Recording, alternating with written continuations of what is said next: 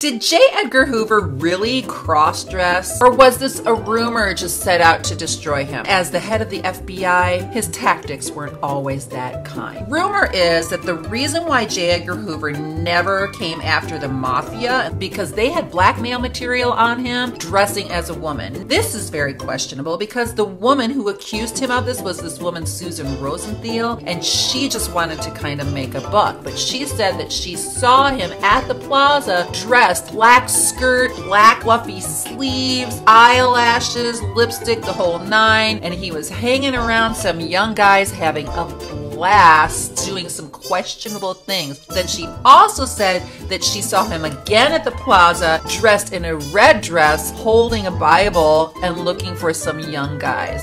She despised J. Edgar Hoover, plus she was making some money every time she would have an interview. So nobody really knew if this was a myth or it was true.